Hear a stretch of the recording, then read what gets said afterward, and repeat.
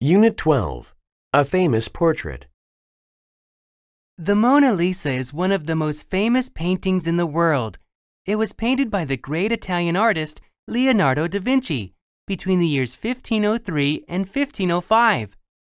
The portrait was done with oil paint on a simple piece of wood. The portrait shows a woman in front of a landscape with mountains. Many people believe that the model for the painting was the wife of an important man in the area. However, some people now think that Da Vinci actually drew a picture of himself. They say the face looks similar to his. Apparently, Da Vinci loved the painting so much that he carried it with him at all times until he sold it to the King of France. The portrait is famous for several reasons.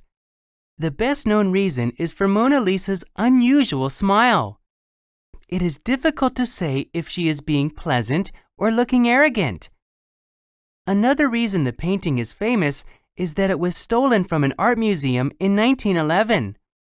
Both France and Italy sent people to look for the lost painting. It was then found two years later in a hotel in France. It is currently on display at the Louvre Museum in Paris. People from all over the world go to the museum each year to see the Mona Lisa. In fact, the painting has so much appeal today that it has been copied many times.